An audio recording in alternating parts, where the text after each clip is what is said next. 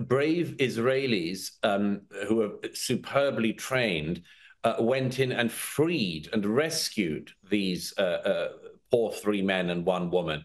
Um, and uh, the reporting on this has been absolutely despicable. Hey guys, welcome back to my channel. Guys, we're checking out Douglas Murray stunned at lack of empathy for Israelis held by Hamas. What do you think about this? Like, let me know what you think about this. Guys, let's get straight into this.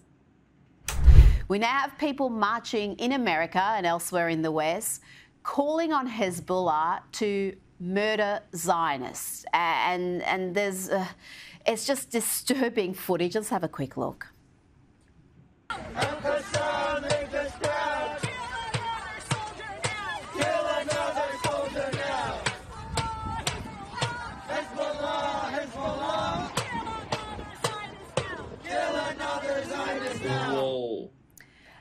Also want to get your reaction, Douglas, to what we've seen uh, unfold after the rescue of those four hostages. So much criticism of Israel's tactics and the uh, alleged collateral damage from the rescue mission. Was there another way for Israel to rescue its people? Should they have issued a warning, as the BBC suggested, before launching the mission? Um, it's amazing. First of all, on the Hezbollah people, just notice again, uh, like the KKK, these people don't have the confidence to show their faces. Isn't it interesting that they're calling for support mm. for a genocidal terrorist organization, but weirdly they cover their faces? Maybe, maybe they're not so sure of their views. Maybe they're not so proud of them. Maybe they know that Mummy wouldn't be so proud of them. Who knows? Um, yeah. As for uh, uh, uh, as as for the sort of the the the, the raid this week, uh, much of the media reported it as the the the, the release of four Israeli hostages. Mm. They weren't. Uh, uh, brave Israelis um, who are superbly trained went in and freed and rescued these poor three men and one woman. Um, and uh, the reporting on this has been absolutely despicable. You mentioned the BBC journalist who asked an Israeli official uh, why they didn't give an advance warning of the raid uh, in Gaza. Um, I don't know. That's like asking somebody why they didn't go up to somebody and and and say, "I'm so sorry, I can't come to your surprise birthday party." I mean, the uh, the whole point of a raid like this is that it's a surprise, and the reason is uh, that if you'd have yeah. given um, uh, advance warning uh, to Hamas in Gaza, uh, then uh, the hostages would like most likely uh, have been killed or spirited away to a, mm. a, a tunnel that Hamas has built at all of our expense in the West. Um, the I mean I, I am stunned as I've said to you before Rita the, the, the simple lack of empathy with the situation that the Israelis are in they have more than 100 hostages still held by Hamas and Islamic Jihad and terror groups and journalists and others, so called journalists in Gaza. They want to get the hostages home. If Hamas wanted to end the war, it could end it tomorrow by handing over the hostages. Israel found the opportunity to get four of the hostages out.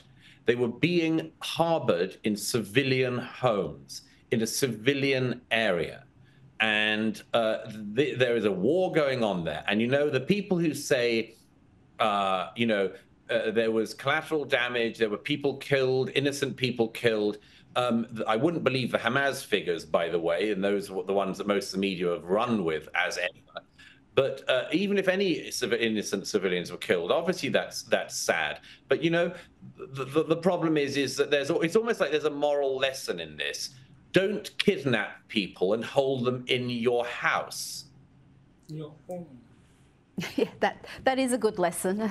that would reduce your chances of being involved in something like this. Uh, before you go, I'm interested in your take on this debate that's happening online. A poll from 2023 is causing a great deal of uh, debate among atheists, uh, many of them embarrassed by the results. Uh, the poll found that atheists are more likely to support minors undergoing gender transition than any other religious belief. Uh, and only one in three Douglas of atheists support a ban on transitioning minors.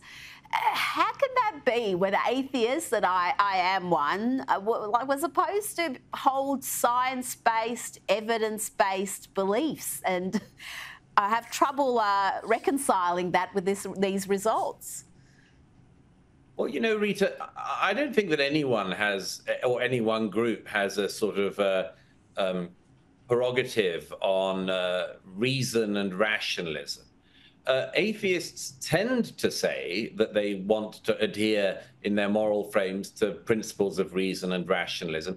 I would simply say that this is a demonstration of something we've seen many times before, which is that the most reasonable and rational people can sign up to the most unreasonable and irrational cults. Uh, uh, the gender uh, woo woo transition cult is one of the cults of our time. In previous ages, some of these people would have tried to work out how to turn base metals into gold. But we don't live in an age of alchemy. We live in the age of bizarre transition surgery where, where cack handed and wicked surgeons try to turn boys into girls and girls into boys and they have as much success as alchemists did in the past. I'm very sorry for atheists who've mm-hmm. fallen for this, um, but I would I would say that it's it should be a warning to them uh, that actually, even if you make reason and rationalism your gods. Uh, uh, you may fail to live up to your ideals. And these people in that poll, Rita, most yeah. certainly have failed to live up to those ideals. Guys, this is sad we all know boys are boys and girls and girls. This is something that has been scientifically proven from day one. And I honestly feel that Israelis are going through a lot.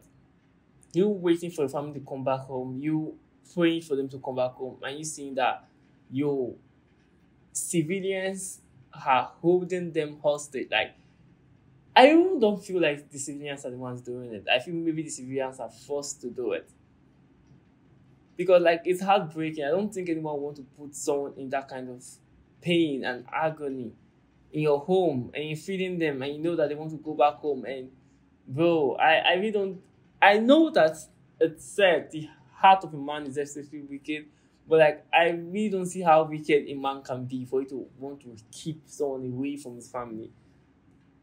Bro, it's heartbreaking. Like I honestly know that Israel are not saints. Like them going to take those people, I know some people died and it's heartbreaking. But I honestly feel this war is not supposed to still be going on because it's not supposed to start at all. Like I honestly believe that peace should reign very soon because a lot of people really don't partake in this war and they're just being dragged into this mess.